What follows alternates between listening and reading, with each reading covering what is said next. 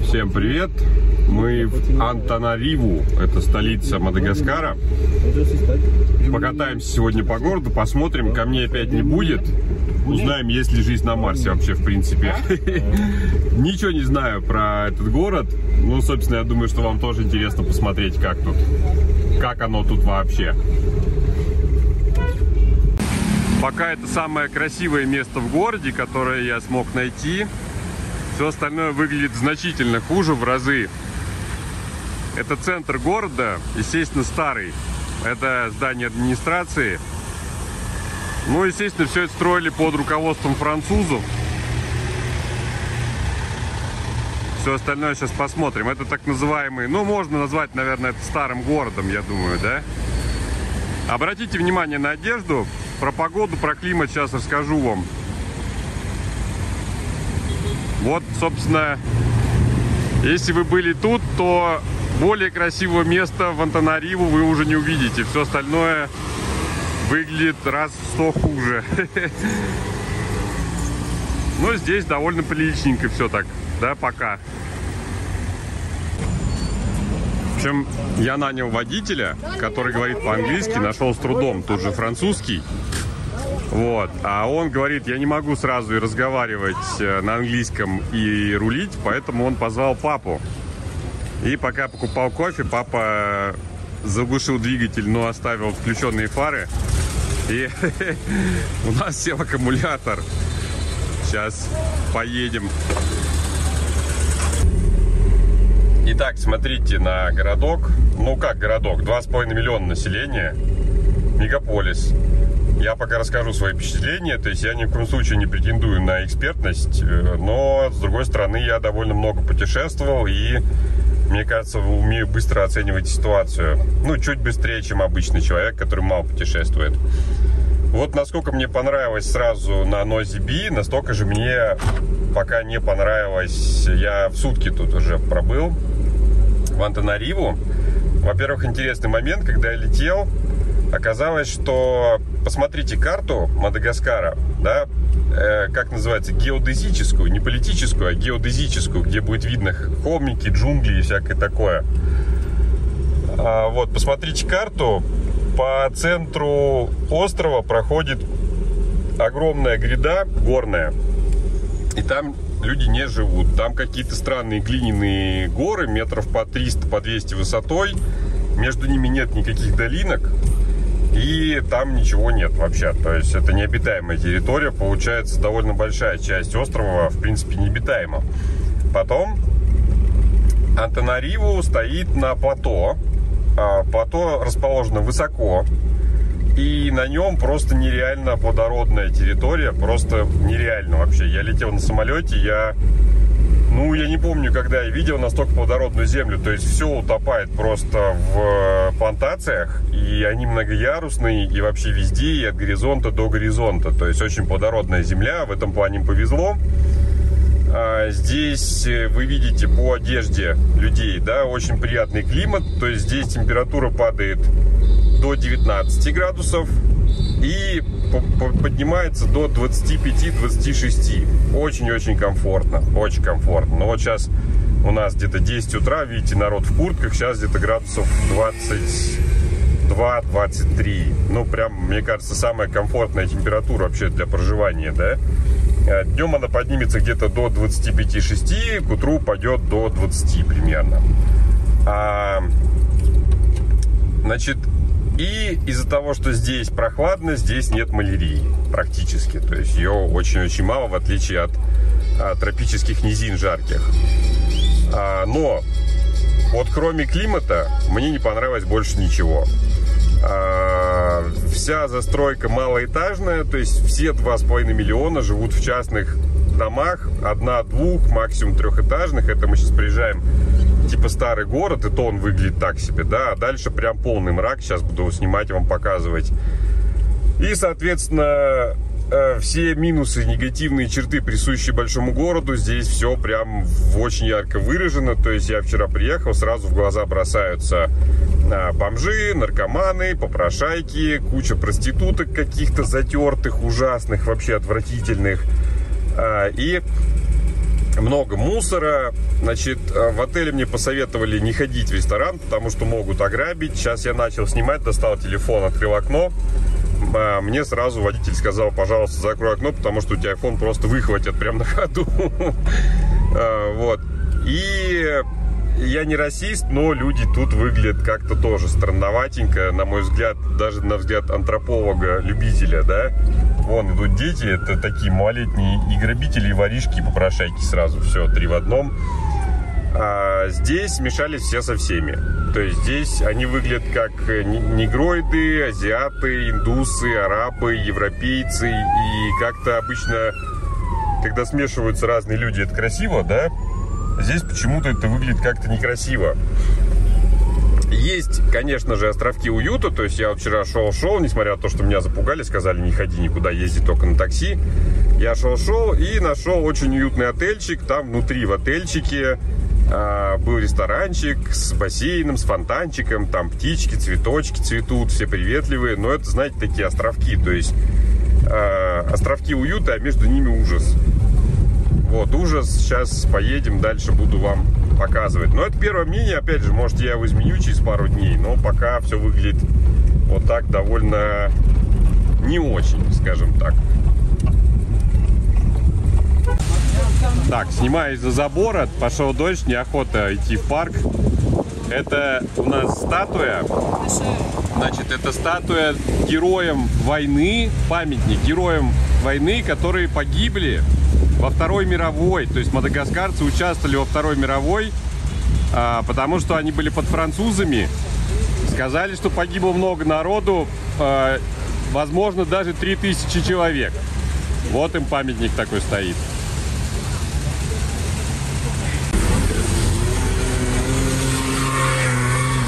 большая часть города выглядит вот примерно таким образом. То есть совершенно хаотичная малоэтажная застройка.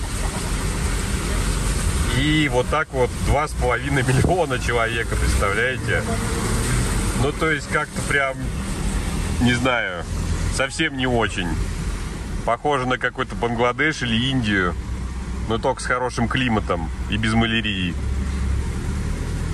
И очень-очень-очень много подозрительных личностей трется везде вообще. Стоят, сидят, лежат, бомжи, алкаши, все, все в наличии.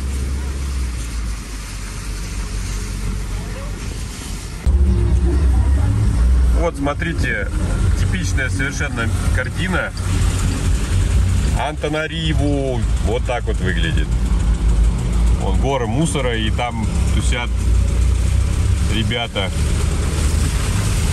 в общем, что-то мне пока не очень.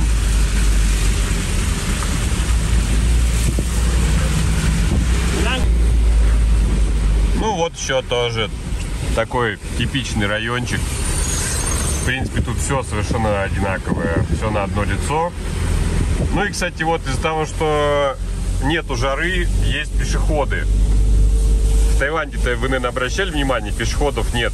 Почему? Потому что очень жарко, да? А тут вон люди ходят пешком и немало. Но красивее от этого не становится, совершенно никак. Мне, кстати, кажется, что я простыл из-за погоды дождливой.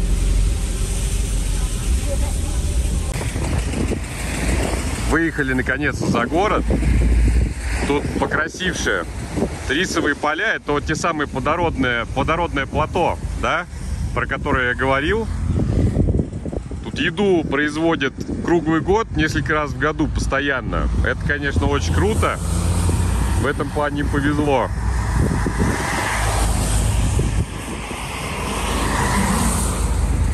Ну и там домики выглядят чуть получше уже. Больше похоже на домики. Я не понимаю, зачем люди живут в городе, если за городом комфортно жить. Это, конечно, очень странно. Приехали в национальный парк. Где-то час езды от Антонариву. Сейчас погуляем. Радуют очень хвойные деревья и даже пахнут приятно. Ну и растительность такая впечатляющая, в принципе. Все очень зеленое. Сейчас погуляем, посмотрим, что тут есть. Тут вот речка, а за речкой деревенька с рисовыми плантациями. И вот в деревеньке уже посимпатичнее все, чем в городе намного. Даже странно, что вот почему они же могут тут нормально жить, а в городе какой-то ад вообще.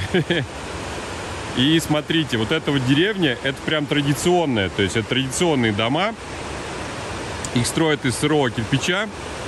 Вот как у Масаев вот эти хижины из э, навоза и глины, да, вот такие дома строили всегда. Видите, нет окон, и они очень маленькие. Крыши соломенные.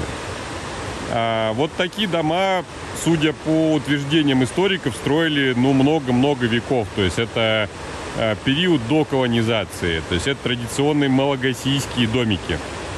Говорят, что там внутри какое-то особенное устройство, как-то на три ступени все разделено. Я попробую попасть внутрь такого домика, если увижу, попрошу, чтобы пустили. Сниму внутри. А почему нет окон, как вы думаете? Скажу вам, потому что все со всеми воевали всегда, да? И, собственно, каждый дом это крепость. А окна в крепости это лишнее совершенно, они там не нужны.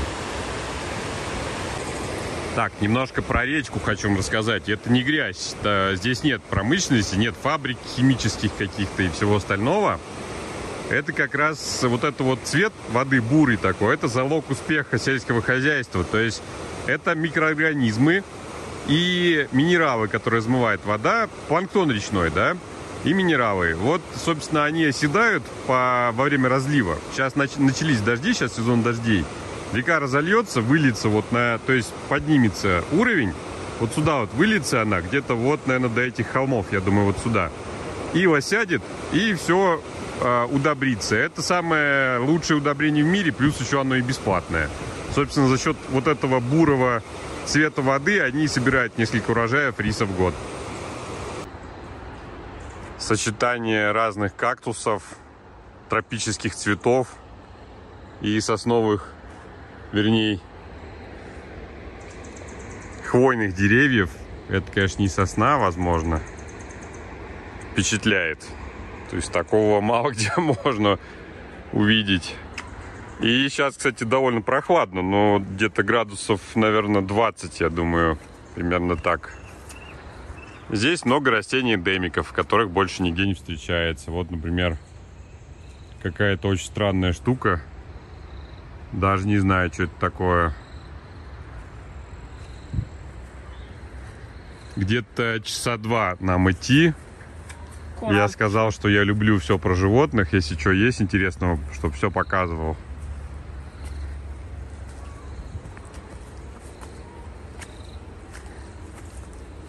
Ну и опять же, в парке кроме меня нету никого.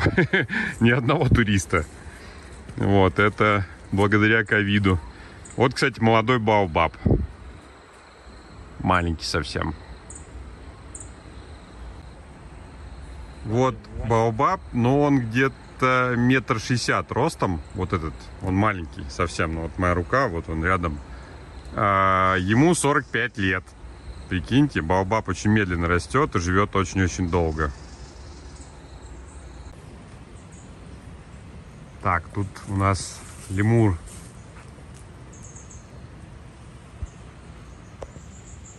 ребеночком. Называется танцующий лемур, потому что они странно прыгают. Довольно смешно выглядит. О, их там много.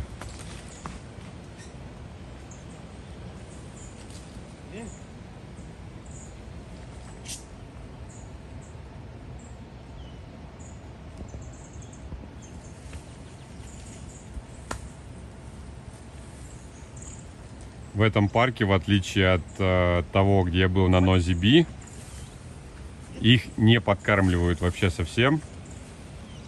Поэтому они не такие добродушные.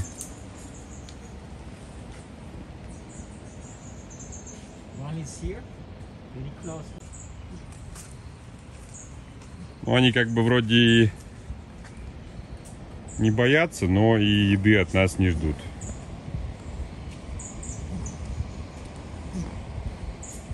Он что-то говорит еще.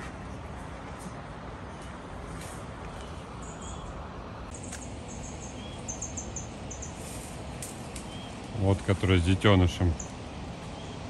Я спросил, что этот парень делает, вон тот, который с ветками гоняет их. Сказали, что им завезли сюда нового лемура, и у них тут между собой началась грязня. Он их разгоняет, чтобы они не погрызли друг друга.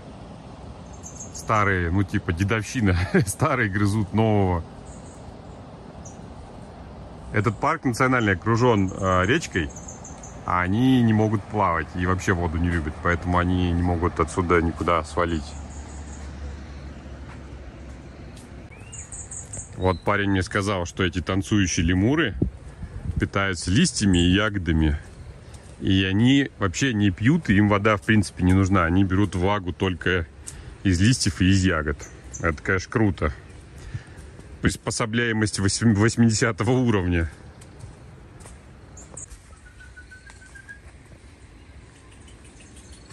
Вот это место, где им нарезают эти листья, приносят.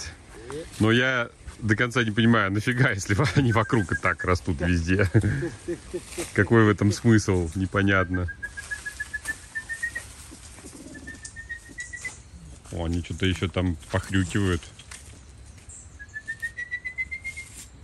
Типа им самим лень э, рвать, и поэтому они, значит, да блин, они так прыгают быстро, не успеваю снять.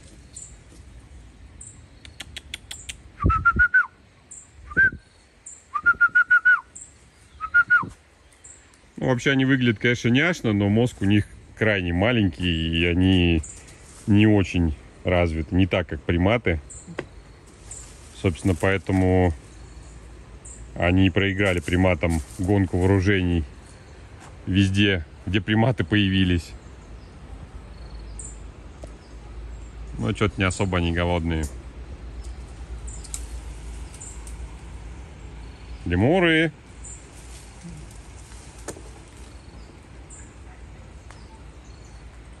They will bite or not?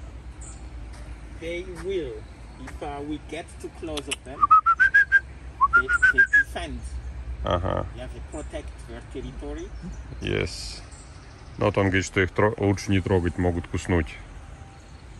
Потом делать всякие прививки от столбняков. Ну, так, милый, конечно.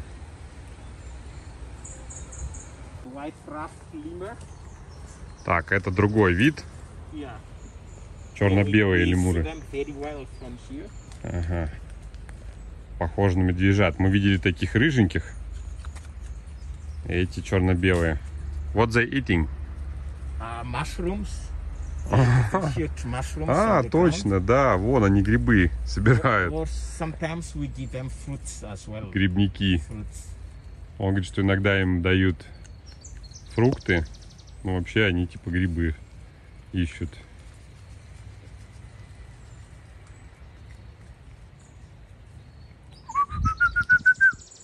How you call them? Ну, видите, тут люди их напрямую не кормят. Поэтому они нет, не подбегают. Ну, это и правильно. Он говорит, что здесь а, в этом парке цель их разводить и выпускать на природу. Вот, а если они будут ждать от людей еды и будут привыкшие к людям, это может привести к чему? Они будут выбегать там на дорогу, например, или к людям. Ну, тоже что-то произносит он.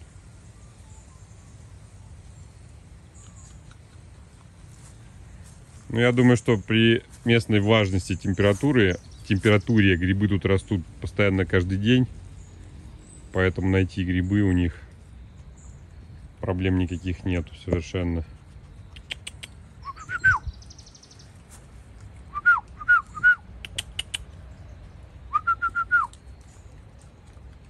Идем дальше.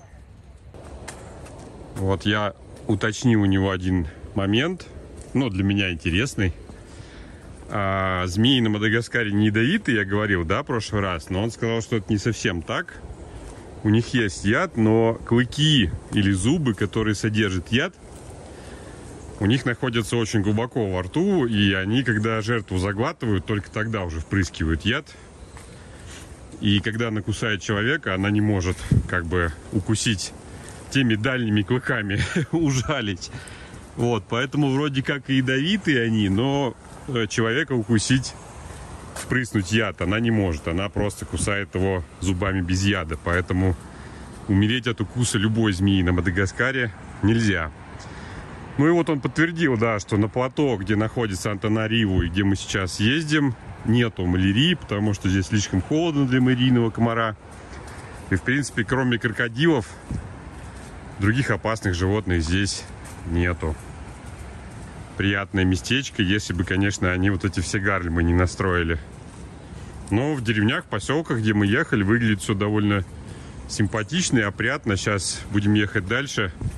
Я специально где-нибудь в приятной деревеньке остановлюсь, покажу вам.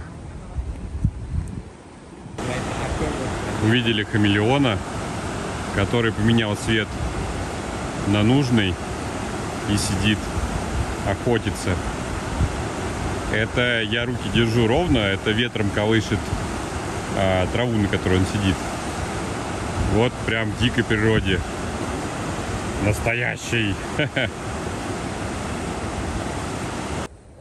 Этот вид лемуров мы еще не видели. Он прям совсем няшный. Ну, повернись к нам. Не хочет с нами общаться. Сейчас обойду, но там будет против солнца. А?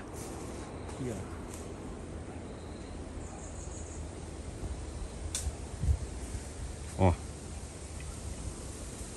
Так против солнца получается. О, этот толстячок еще и прыгает.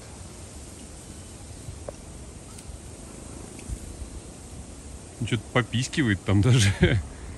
Блин, против солнца, конечно, неудобно снимать, но...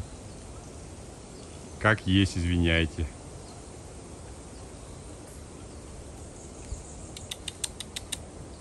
О, вот сейчас чуть-чуть обойду.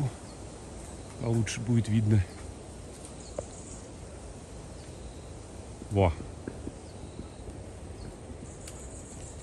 Прикольный. Получается, он как панда питается бамбуком.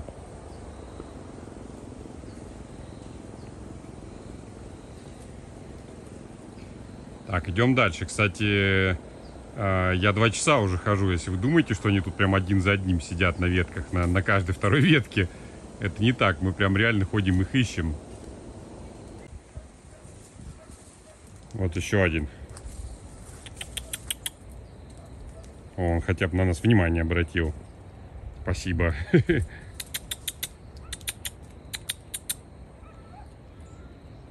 Это как-то пободрее, может, более голодный. Все, уполз. А тут кучка разбойников на мусорке промышляет. А, нет, это не мусорка, это, кажется, вода. Сейчас обойдем.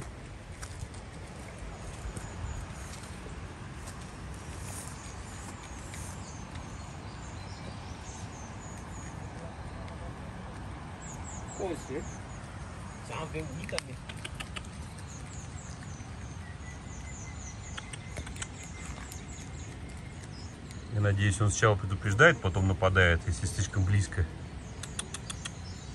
Не, он решил отойти.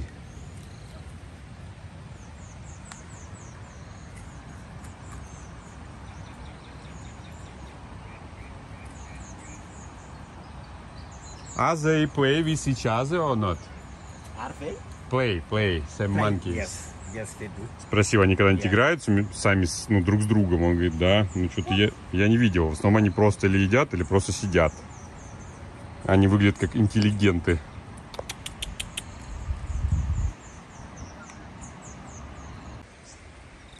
Ребята, молодцы. Вот этот парень, вон, в голубой бейсболке, бегает с едой туда-сюда, спрашивает, что происходит. Он а, объясняет, что они привезли нового лемура. В эту группу тоже хотят внедрить. Ну, чтобы они его приняли, они его подманивают, а он боится, от них убегает. Они пытаются его бить. Этот парень пытается бить всех. В общем, работают, молодцы, то есть заботятся даже о каждом лемурчике, то есть могли бы бросить его там, а, да он группе не это, не сжился с ними и помер, да, они... О, прибежали. Вот, они прям реально заботятся.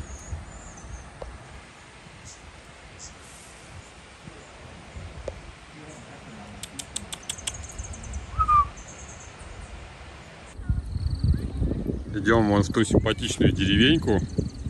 От меня убегают дети. Вон бегут по дороге.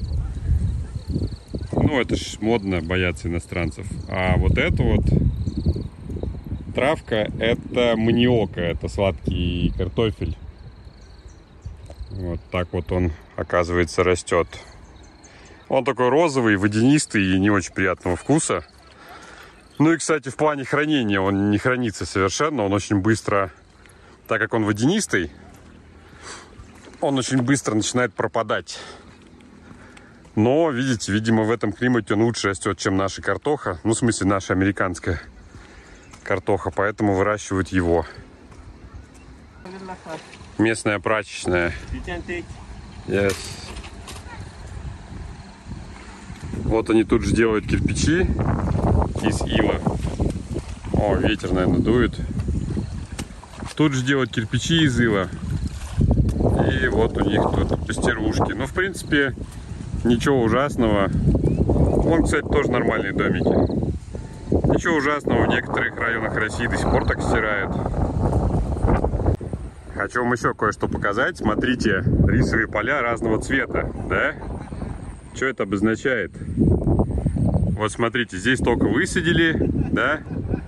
Вот тут вот уже почти скосили. Здесь растет. Здесь созрело почти. Это значит, что такой вещи, как сельхозсезон, не существует. Все высаживают и выращивают, когда хотят. Вот такая ситуация. Я это называю климатическая халява. Ну и мы вот почти пришли в деревню. В деревне нас уже все увидели. Он со всех окон смотрит. Сейчас зайдем, спросим, можно ли в доме поснимать в каком-нибудь. Пришли в деревню. Это вот прям домики, которые они строят веками, а возможно и тысячелетиями. Сегодня пойдем в музей, там разберемся. Я заметил интересную штуку. А, ну, во-первых, вот тут это, собрались уже зрители. И все с ужасом смотрят. Вот. А, они сами делают кирпичи из ила, да, вот кирпичи. Складывают дома. Но, блин, они, оказывается, без раствора. Я такого не видел раньше. Это очень странно. Раствора нет, все дома собраны вот так вот, просто как бы за счет своего веса они держатся. И снаружи обмазывают глиной, но это прочности это не особо добавляет. Мне кажется, это опасно. Спросил, были ли завалы? Говорят, не было. Но, видимо, здесь сейсмической активности нет никакой. Вот, сейчас договариваемся, чтобы показали дом изнутри, но, естественно, все боятся. Сейчас, может, найдем какого-нибудь алкоголика, проставим ему пивка. Почему дома такие маленькие? Объясняю, потому что в этом климате он большой вообще сто лет не нужен. Что дома делать? На улице тепло, хорошо. Тут даже вон в этом климате прохладно. Вон манго растет. Поэтому дом это место, где ты ночуешь и где на тебя не падает дождь, когда он есть. Это все, это все функции дома. Ну и, собственно, видите, здесь еще вот эти вот заборы обязательно и дома без окон практически или с маленькими окнами, да, вот, например, в этом фиолетовом, видите, сколько окон. Ну, то есть еще оборона, когда война какая-то межплеменная идет. Вон тетя высунулась, с нами разговаривает, а можно оттуда стрелять из лука, например. А, большой дом строить можно, это ничего не стоит, потому что кирпич-то бесплатный получается, да? Но он просто не нужен, и все. В этом климате большой дом огромный, огроменный. Не нужно это лишняя трата сил. Все должны с утра вставать, идти работать на поля, потому что сезон всегда. Зашли во дворик. Сейчас пойдем в дом, заглянем. А, тут везде цветочки. Спросил, кто занимается цветочками. Он сказал, что они сами растут. Вон у нас зрителей сколько, смотрите. Вся деревня, я думаю, здесь. Ну, кстати, вот опять же, ничего плохого не хочу сказать, но жители все несимпатичные, такие какие-то непонятные. Это папая, это мы знаем. Она везде. Папайя в Африке. Ti. А это вот... Yes, yes, слад- сладкий картофель. Вот это. Тоже мы знаем такое. Окей, open the house, please. Open the house, please. Домик маленький-маленький, но почему он такой маленький, я уже говорил. Так, сейчас я номер 5 поставлю, а уже стоит. Тут комнатка, там какой-то миксер. э, He making music or what? DJ? Yes, this is the music. Another one? Hello, bonjour, bonjour, madame. Ну, И вот еще комнатка. В принципе, все нормально, по-человечески. Ничего, норм вполне. Так и живут. Thank you very much. Misocha pizza. Misocha. Misocha. Мисоча. А, Мисоча. Вполне норм домик. Ничего такого прям... Ужас, ужас, кошмар, ничего такого нет. Все хорошо. Я думаю, раньше не было мебели у них. А Вот, а все остальное как тысячи лет назад, скорее всего. Это мы, это мы узнаем в музее. Так, сейчас. Bye-bye! Такого цвета мы еще не видели. Прикольный. Ну, лапки красненькие у него. Нарядный.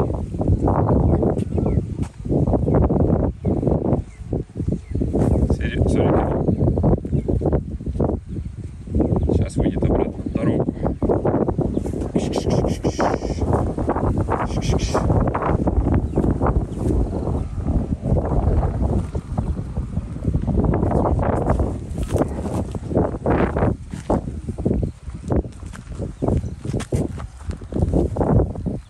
Слишком быстрый для хамелеона. Побежал.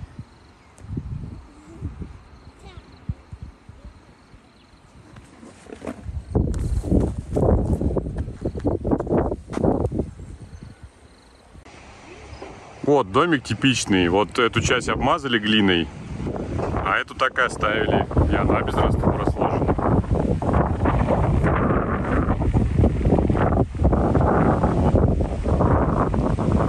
Это странно, конечно.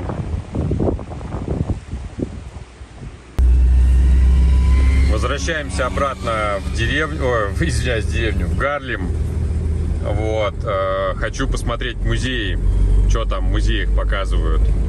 У меня есть подозрение, что там будет все только на французском, но надо все равно глянуть.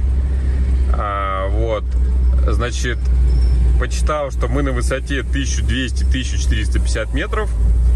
И Антанариву переводится с малагасийского как «тысяча поселений». Ну, то есть, видите, здесь очень плодородные вот эти разливы рек, да, А, плюс нет малярии, поэтому тут всегда все хотели жить. И я думаю, что, ну, судя по внешнему виду людей, тут всегда жили все. Арабы, индусы, эти азиаты, индонезийцы, которые заселили повторно, и все-все остальные. Поэтому все смешано. А, вот. Ну, выглядит так, да, не очень красиво. Продолжает выглядеть городок. Вон там те самые Гарлемы. А, и опасненько. Мне водитель опять говорит, мы подъехали в город, он говорит, прикрой окошко, а то могут у тебя iPhone выхватить из рук. Едем в музей. Музей в живописном местечке находится на холме как раз. Тут три холма вообще в Антанариву. И короли местные жили на холмах всегда. А вот это все до горизонта Гарлем. Ну, на самом деле нет, там есть полно богатых домов, но совершенно хаотичная такая застройка, да. Мне не очень нравится. И вон там дальше начинаются уже плодородные поля.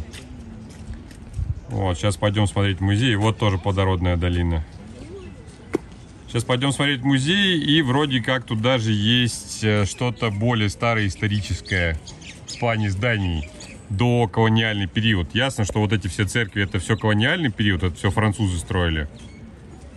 Или кто был до французов, сейчас я почитаю, расскажу вам. Так, вот у нас здание музея, и он, к сожалению, блин, закрыт.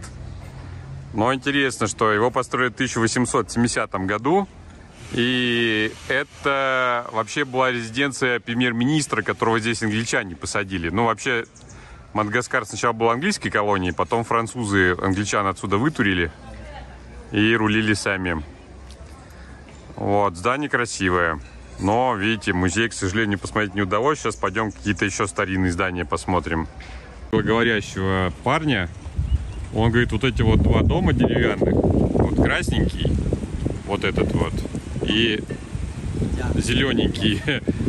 Вот а, так раньше выглядела вся столица полностью. Король, который здесь жил во дворце в каменном, или в кирпичном. Сейчас мы пойдем его дворец смотреть. Но этот дворец, конечно, новодел, 19 век. Он запрещал э, простым людям строить каменные дома. Почему? Ну, потому что вот такой деревянный домик нефиг делать, штурмануть, да, если что-то не так, человеку что-то не нравится, он против. Отправил солдат, они его разломали или, не знаю, сожгли, и все. А если у человека, у какого-то местного каменный дом, да, он может там держать оборону несколько дней, а то и пару месяцев, если у него там вода есть. А, это невыгодно. Но, собственно, я бы тоже запрещал. То есть, вот эта вся долина раньше была полностью в таких деревянных домах. Местные короли категорически запрещали строить каменные или кирпичные дома простому населению. И правильно, я бы тоже делал именно так. Пошел дождик. Здание суда построено в 19 веке, ну то есть свежачок для местной королевы. И вот он говорит, что почему такой стиль колонны без стен, чтобы все было открыто и все судебные заседания шли в открытую. То есть все, кто хотел, могли прийти и послушать. Ну, то есть довольно символично, да. Тут довольно любопытная фреска, она современная, но очень много моментов культурных показывает. А, я сейчас вам немножко расскажу, ну, кому любопытно, да, о культуре. Это, значит, первые колонисты, ну, или поселенцы. Они все приплывали на вот таких долбленных лодочках. А, значит, считается, что здесь, естественно, сначала переплыли африканцы, потом переплыли а, индонезийцы или малазийцы, они их тут называют. Я об этом говорил, да, что очень-очень давно они приплыли сюда.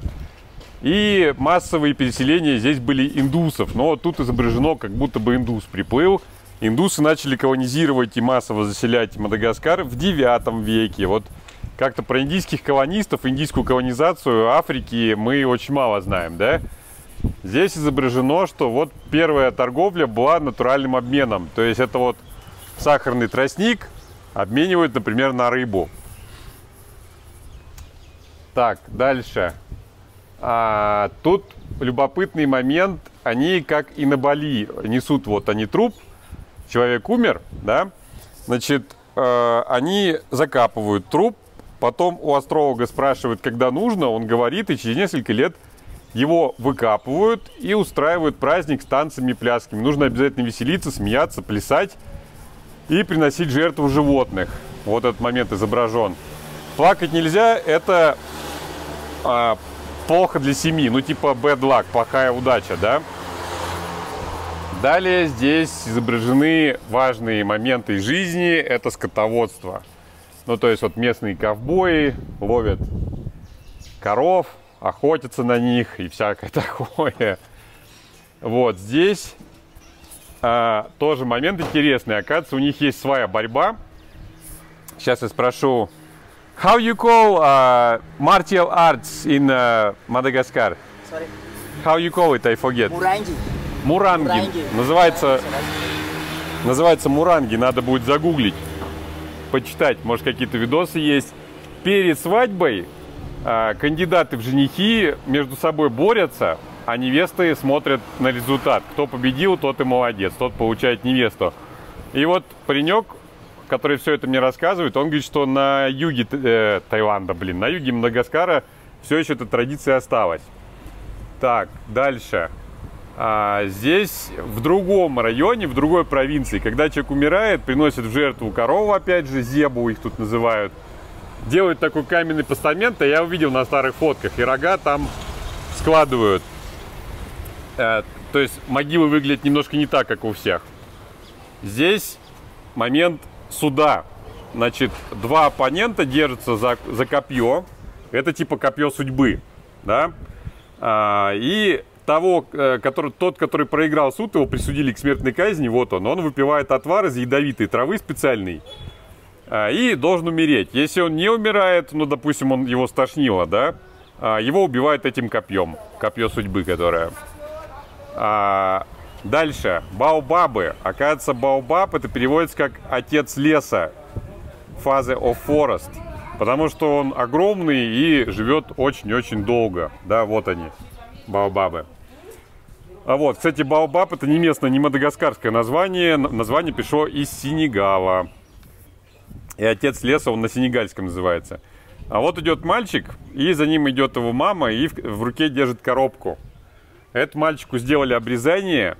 А значит, э, то, что отрезали, положили в коробку, потом это все завернут в банановые листья, испекут, и это все скушает самый старый член семьи, дедуля. Это типа хорошо для семьи, приносит удачу и семье, и мальчику. Но тут человек убегает от крокодила, это все понятно. Здесь народные национальные танцы. А вот, а тут вот с этого момента начинается период французской колонизации. Они с собой привезли много э, стрелков из континентальной Африки, как поддержку, помощь, да, то есть тут африканцы тоже угнетали африканцев. Но это музыканты, вот идет у нас какой-то товарищ в треуголке, понятно, что француз. А тут церемония несут последнюю королеву Мадагаскара. Уже в, во французских одеждах, уже они перешились.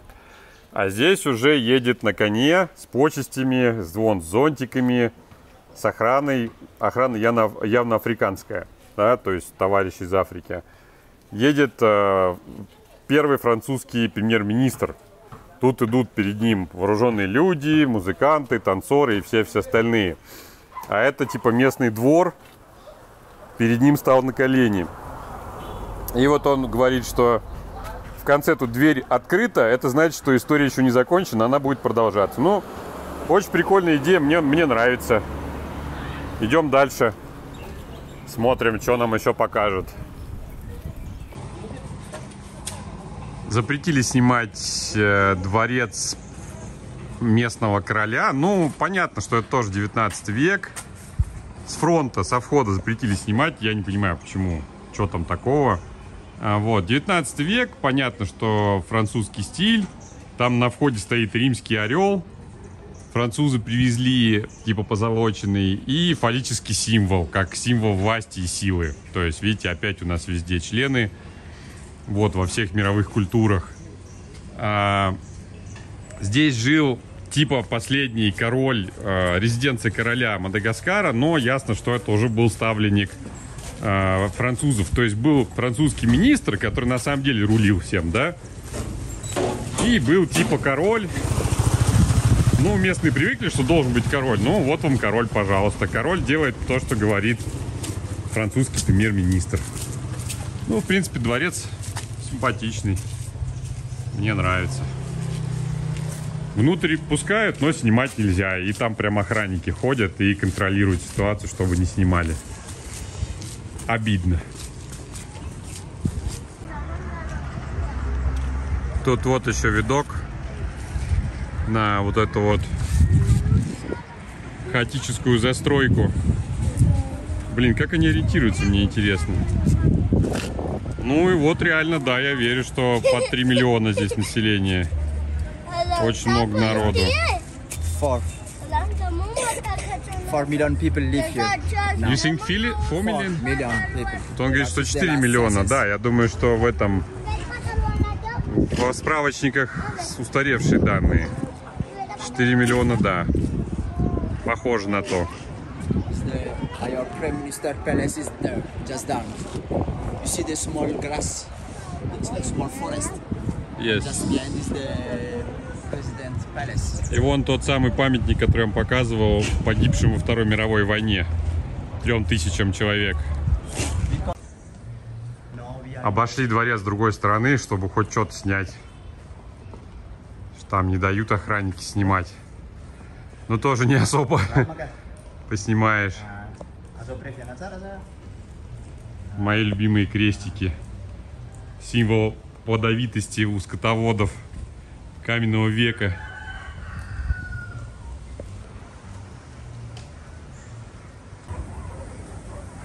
Тут тоже увидели хамелеона. И причем этот вид я еще не видел. Вот он сидит. А, это уже взрослый. Он маленький-маленький. Он сантиметров 6 длиной где-то. Ну вот, не зря погуляли. It's a lateralus.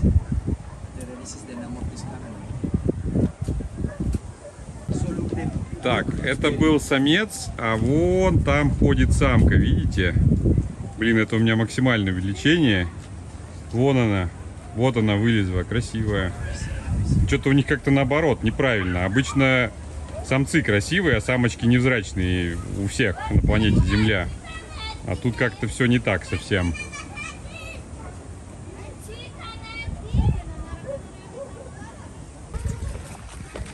Школьники идут. Hello. Hello. Bonjour. Bonjour. Bonjour. Bonjour. Bonjour. Mhm. That was this gate, as I told you. But was 1,700 uh, more than, um, before more. You think so? Yeah, yeah. Because before, we, had, uh, we had a date here before. А, so it's gone. date 1700 years before how you write it. One. Now we, we use uh, French, French. Uh, Вот а, то, что я ищу, и то, что мне нравится, это доколониальный период. Тут была старая крепость, вон дальше стена уходит, но уже там ничего не осталось от стены почти. Это примерно, примерно 15 век считается. То есть сюда еще не попали никакие европейцы. Ну, может быть, где-то на берегу они уже и были там чуть-чуть, но тут на плато в центре никого не было. И вот такой яркий пример – это крепостные ворота каменного века, реально каменного века. То есть никакого железа они не знали, потому что его здесь просто нету, руды. Вот, собственно, прикольно. Дверь такая, сколько тонн? 20 весит, наверное, да? Закрывали ворота, если что. Очень круто. Я вот такого, например, не видел. Молодцы, что сохранили. Тут старая застройка на холме вокруг дворца. Выглядит более-менее норм. Вот. И тут такая очень красивая готическая церковь. Строил архитектор из Шотландии.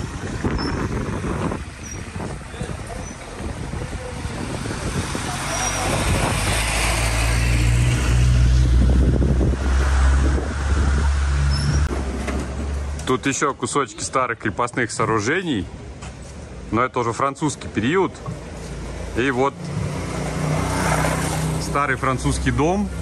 Это дом местного французского начальника, начальника золотодобытческой, или как правильно, а, компании. Оказывается, здесь французы добывали золото в больших количествах.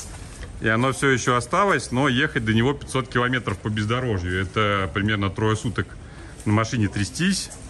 Я когда сюда на подольше приеду, я обязательно заеду. Ну, а это он же построил для народа, для народа церкву. Еще одну. Нет, чтобы построить больницу хорошую, например. Все строят церкви. У нас состоялся интересный разговор с этим пареньком, который мой гид. Я говорю, слушай, а почему я нигде не видел а, мадагаскарцев или малагасийцев за границей? Вы куда-нибудь вообще уезжаете? Он говорит, да, мы уезжаем много куда. Говорит, много малагасийцев живет в Германии, много живет во Франции. Но, говорит, у нас просто такие лица, что нас невозможно запомнить, и язык у нас такой невзрачненький, не запоминающийся. Поэтому ты нас точно видел, но не обратил внимания. Я подметил, вот интересно, да, что на Нози Би вроде тоже Мадагаскар, но там внешность у людей, ну, они там как-то посимпатичнее реально. И тети, и дяди более выразительные. А здесь они прям совсем как-то выглядят, а, ну, не то, что непривлекательно, ну, так вот, никак, скажем так, да? Никак. Сейчас покажу вам еще одну церковь. Сколько же денег на церкви человечество угрохало. Это представьте, если бы все это вложили в науку, да? Мы бы уже давно жили в какой-нибудь экологически чистом, в экологически чистой цивилизации. Вот еще одна церковь. Вот зачем их столько надо было строить? Построили бы университеты на каждом шагу. Жили бы сейчас совсем по-другому. Нет, надо строить церкви. Вот дом легендарной личности, по легенде, это первый француз. Ну, дом там уже все, он его, видимо, не реставрирует. Первый француз, который прибыл на Мадагаскар, и он сделал что? А, он Лаборде. Джан Мейсон Джан Лаборде. Он женился на королеве всего лишь. На королеве Мадагаскара. И он ей дал мушкеты, порох, пушки. Ну, в смысле, не ей, а вообще привез с собой. Типа, это стало его, то есть, объединением, частью его собственности, да? Непо, неплохая такая это, неплохой союз. This is another species. Еще один попался. How have you seen it? It is uh, pregnant. That's why the belly is like full, Ага. full eggs. Uh, Goes down to dig and put the eggs. You think it's fe- female?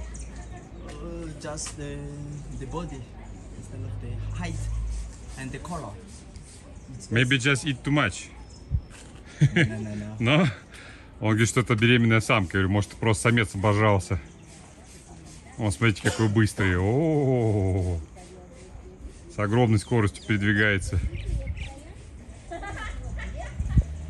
Просто этот. Скороход.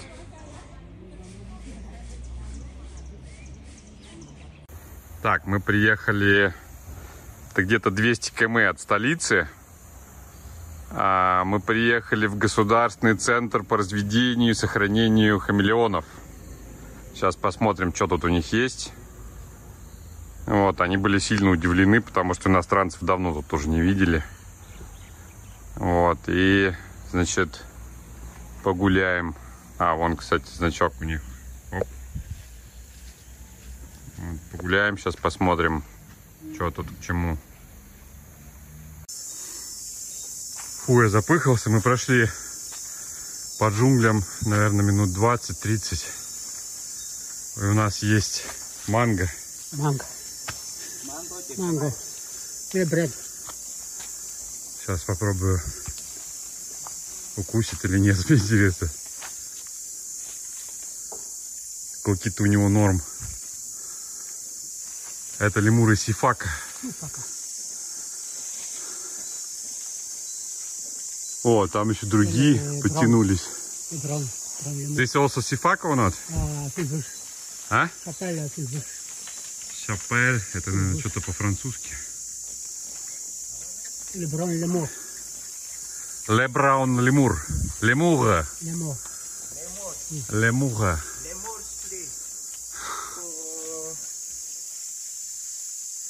Вообще приехал смотреть хамелеонов, но тут полный лес лемуров, блин. Пипец, сколько их тут. Yeah, of patch. Прикольно.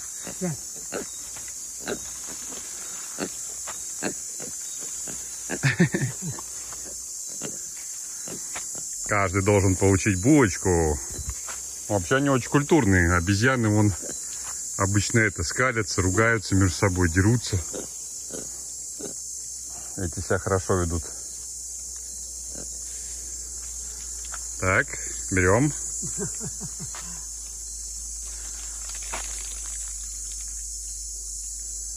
И прям так берут аккуратненько, чтобы не это, не, не куснуть. Кто смелый, подходите. Во. Давай ты.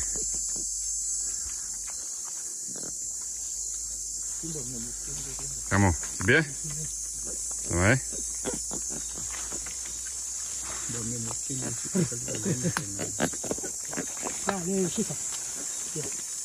А, окей. Так, надо этих сифаки, видите, более воспитанные. И они ушли. Он говорит, что этих много. Надо покормить сифа- сифаков. А, yes, yes. Видите, сифаки воспитанные, ждут сторонки культурно. Сифак, сифак. Бери. Молодец.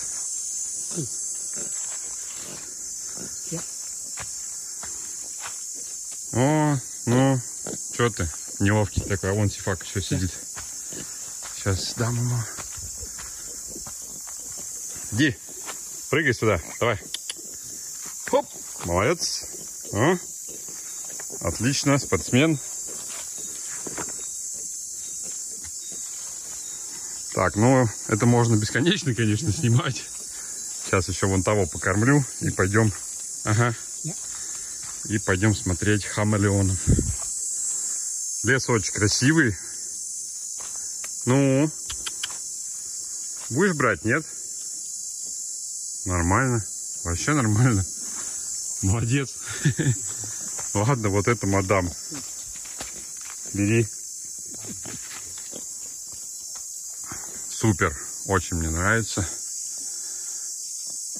Прям огромное количество их. Но территория ничем не огорожена, вы понимаете, да, что это просто лес и все. Вот, это по сути дикие животные. one Мы зашли. О, сейчас я дверь закрою, чтобы они не сбежали. Тут такой типа павильончик, в котором разводят хамелеонов. Очень красивые тут коряги всякие. Вообще тут смешанный сосновый тропический лес, очень влажно. Ого-го-го! Фига себе! one. Ничего себе! They bite or not? Uh, not. Not. Yeah, for this the bite is. Like this Uh, one can you uh, help me? Yes. Wait, wait, wait for the the flat for the branch Огромный. tree, the flat. А, чтобы он не отъезжал. Так, ну этот как две ладони размером где-то он. А, он прячется от меня за этой коряшкой. Can you, can you take it, please? And move a little bit. No, the chameleon for this Uh-huh. the change Oh. and the flat. And they never bite? Really? Uh, input insect? А? Input insect? No. No. What? А, No, it's no bite for the. no, no bite, for sure. No, no. Ага, он говорит, что вообще его можно на руки Yeah. брать. This Что они, в принципе, не кусачие совсем. slowly. Allegorio. It's no price, eh? No price. It's a touch slowly. Yes, yes, yes, yeah, yes. touch slowly. Говорит, что сжимать его нельзя, want to see James. трогать можно. Сейчас он начнет съезжать вниз, чтобы от меня спрятаться. Огонь! Очень круто, прям здоровый. То, о чем я мечтал с самого детства. Поиграть с хамелеонами. Окей, you can take him. You know James, alas lu. Pamiana Argentina. Ага. Romola somara tan tanan liri. Сейчас этого сберут.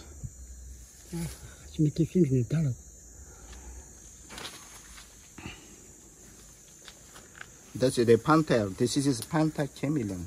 Этот Я- я более знаю name. бодрый. Пантер? Yes.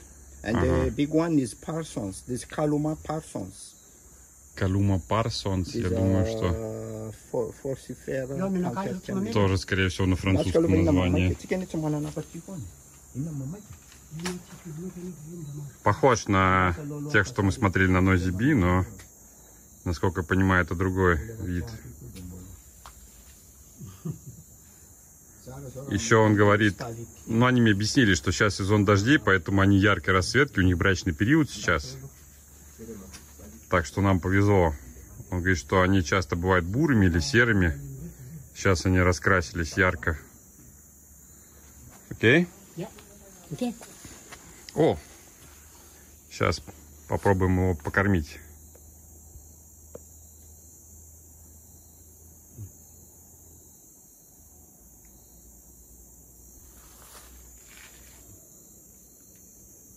Кузнечика насадили на палочку.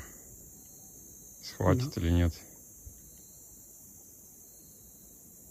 Что-то он пока стесняется. No.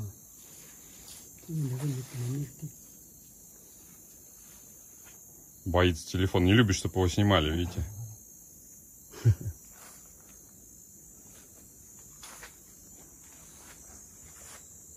О, куда ты рванул? А, на дерево, ну давай.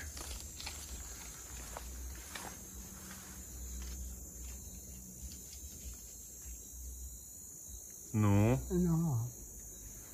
все тут стесняшки прям такие. Стесняшки, обаяшки.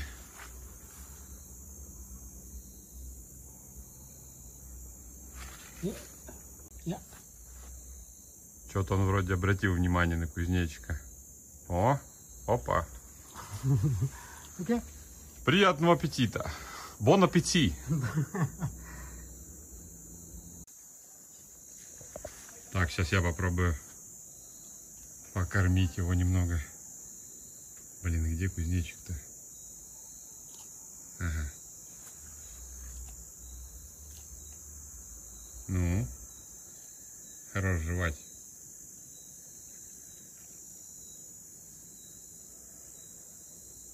Давай. Оп. Молодец. Good? Огромный. Бон аппетит, месье хамелеон. Мадагаскарская древесная лягушка. How you know this word? A Yes, yes.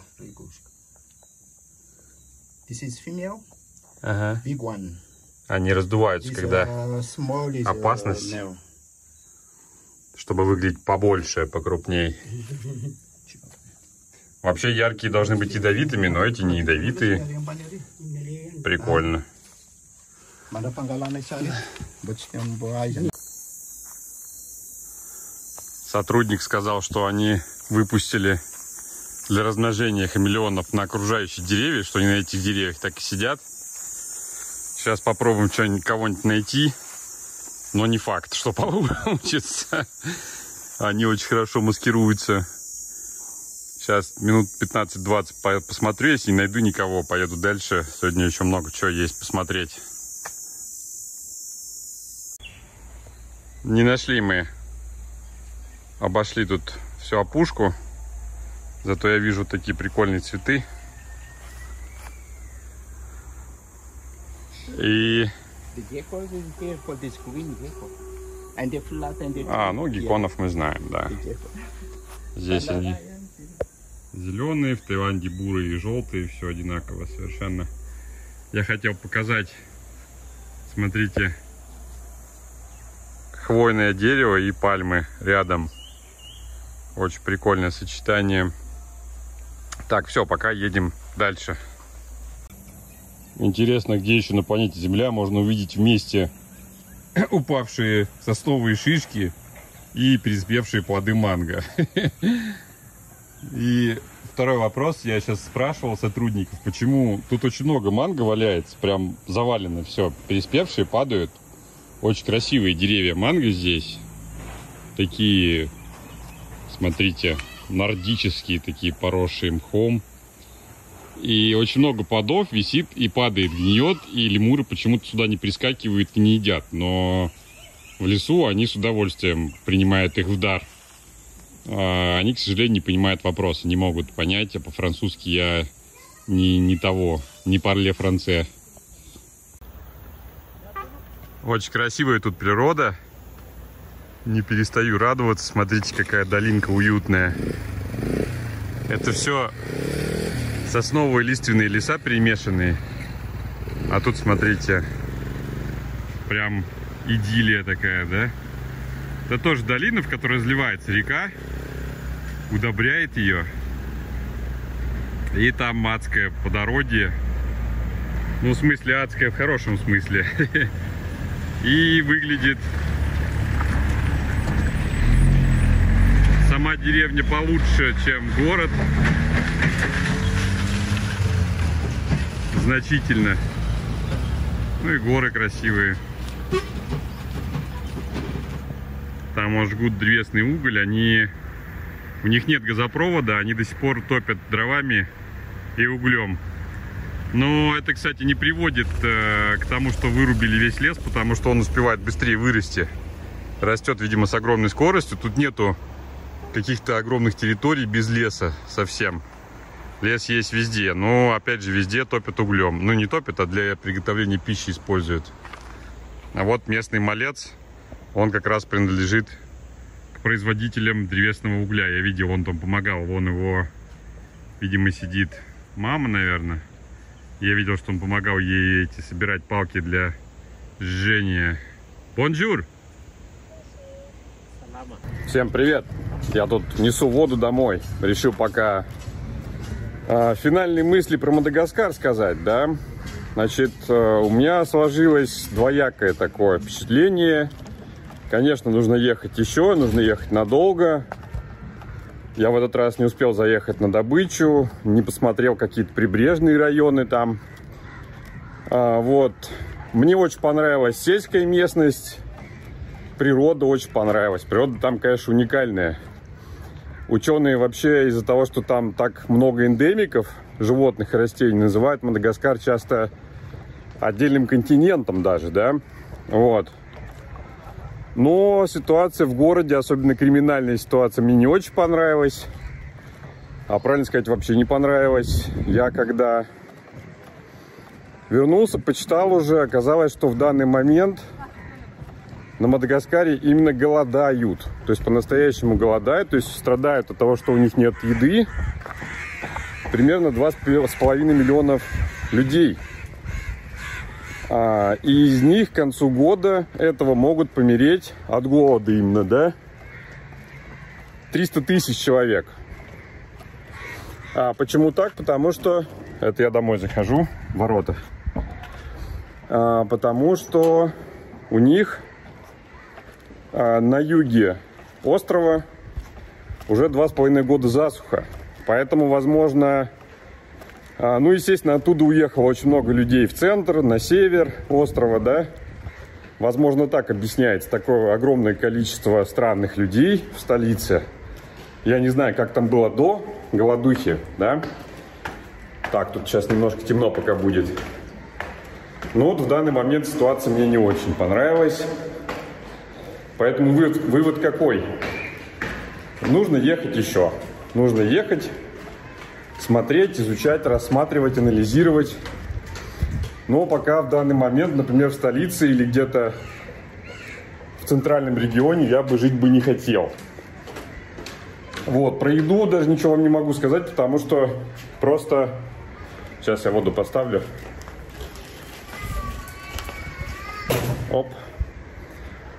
Потому что просто не успел ее попробовать. Ну вот, собственно, вывод какой? Надо ехать еще. Я думаю, вы со мной согласны, что надо ехать еще, снимать, смотреть. Вот, и все изучать. Страна интересная, самобытная, культура очень интересная у них, да? Поэтому запишем, поставим галочку на будущее, что Мадагаскар требует дальнейшего изучения и анализа. Всем пока, я надеюсь, вам было интересно. Ждите, скоро будут еще видосы.